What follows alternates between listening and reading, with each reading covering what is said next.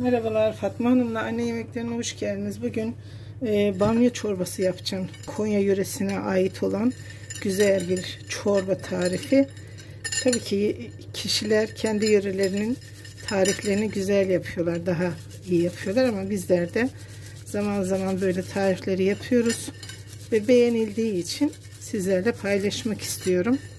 Ben bunu ilk yıllar önce bir görümcem yapmıştı. Allah razı olsun. Onda yemiştim. Hakikaten muhteşem yapmıştı. Hatta 2-3 kase falan içmiştim. Ee, sonra da bir 5 yıl falan önce herhalde gene küçük eltimin kardeşi evleniyordu. O zaman düğün yemeklerinde yedik. Tekrar istedik. Gerçekten güzel bir lezzet. Hem doyurucu. O ekşiliği içine atılan limon tuzu ekşileri ya da limon suyu harika oluyor. Şimdi bunları ben şöyle bakın çok küçük olacak. Çiçek bamya diyorlar küçük küçük. Bunları özel bu çorba için kurutuluyor. Yani kurutma imkanı olmayanlar, böyle bulamayanlar satılıyor zaten. Gittiğiniz zaman her yerde var artık. Şöyle gereksiz olan tüyleri, kabukları dökülsün diye böyle yaptık. Şimdi döküldüler bakın. Şimdi böyle bir defa suya tutacağım. Zaten kaynayan suyu atacağım için. Şimdi burada suyum kaynamaya başladı. Şöyle bu bir defa suya tuttuğum bamyalarımı şöyle hemen bir atayım. İplerinden çıkarmadan atıyoruz. Şöyle altını da farlandırayım. Şöyle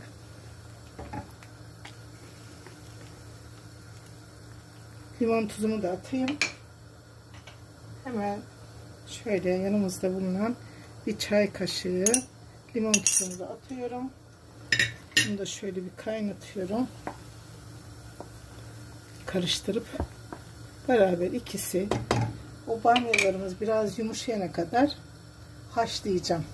Bir e, 10 dakika 5 dakika yet yeterli. Yani o şey zaten etle de pişireceğimiz için ben eti de önceden haşladım. Biraz böyle bu e, çiğliği gitsin diriliği. Kapağını kapattım. Kontrollü bir şekilde. Biraz kaynasın, pişsin hafif. Evet şimdi artık bamyalarımıza bir bakıyoruz.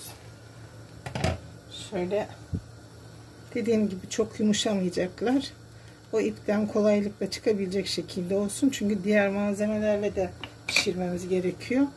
Şöyle altını kapatıyorum. Ve yanımda bulundurduğum bir kase soğuk suyun içine bunları alacağım. Şöyle. Evet. Artık biraz bunlarla dursun.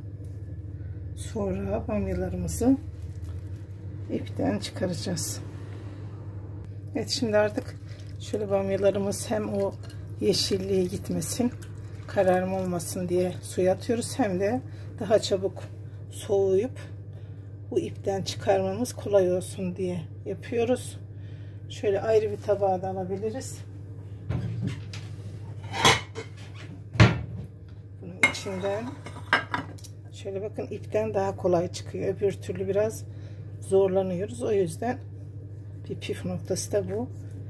bu kuruttuğumuz bamyaları kolay çıkarmak için. Şimdi bütün bu iplerdeki bamyaları böyle çıkarayım. Aynen böyle devam ediyorum. Evet bamyalarımızı ayıtladık. Şöyle onu da kenara alayım. Şimdi diğer işlemlere devam edelim. Evet şimdi ocağıma etimi e, pişirmeseydim önce eti burada pişirip sonra devam edecektim soğan şey ama şu an etim benim pişkin olduğu için şöyle yaklaşık iki buçuk yemek kaşığı kadar sıvı yağımı koydum ve ısınan yağın içine doğradığım iki tane soğanım var. Onları şöyle ilave edeceğim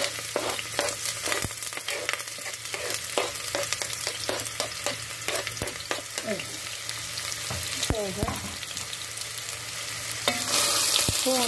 Biraz kavuracağım. Şöyle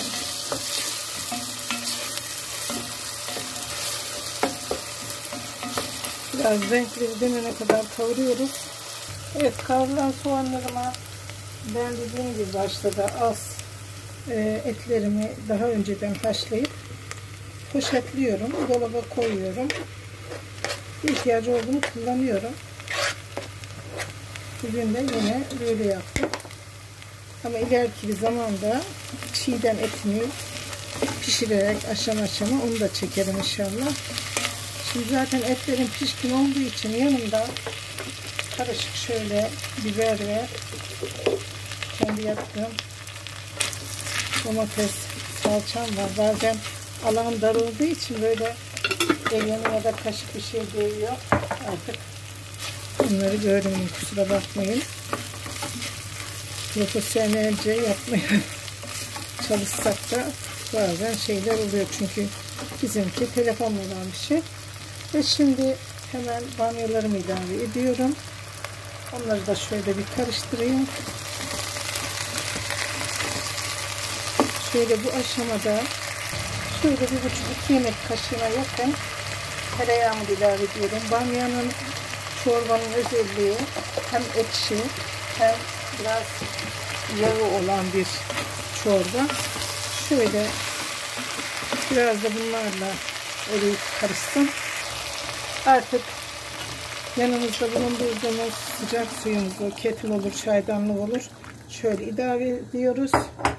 Bunlar zaten bu sıcaklıkla da eriyecekler zaten yağlarım. Şöyle. Şimdi tuzunu ilave edeyim.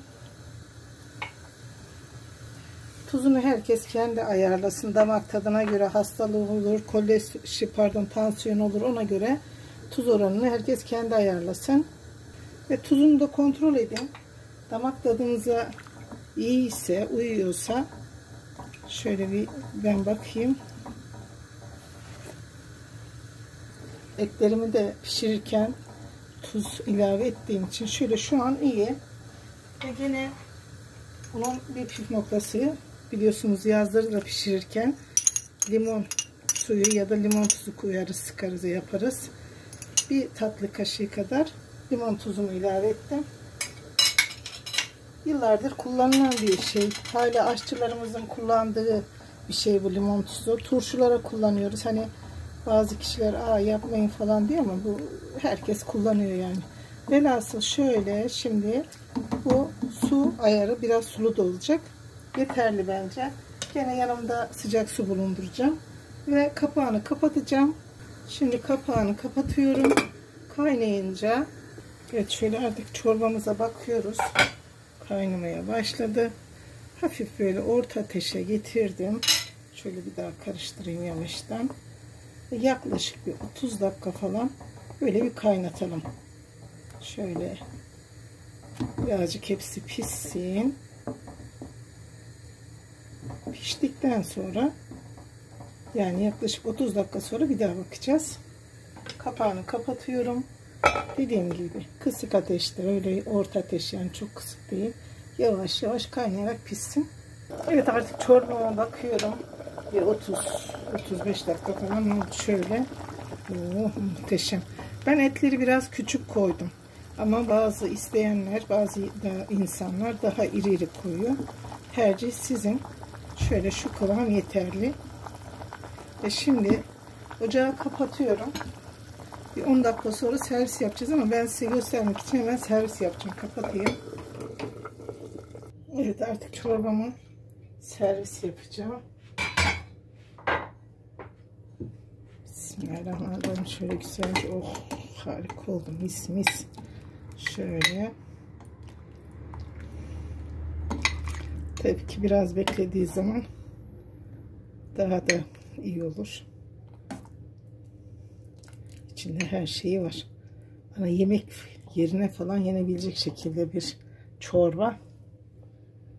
Evet gerçekten yemediyseniz hayatınızda bir kere yiyin diye tavsiye ediyorum.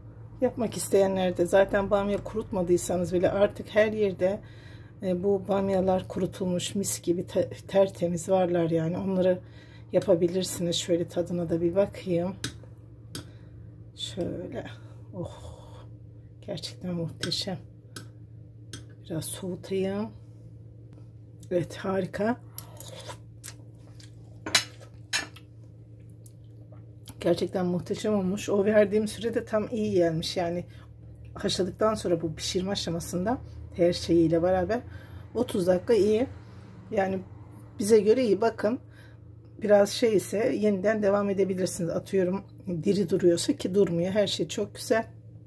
Evet allah Teala hepimize yapmayı ve yemeği nasip etsin diyorum. Sevgiyle kalın. Kanalımıza abone olmayı, beğeni, yorumlar yapmayı unutmayın.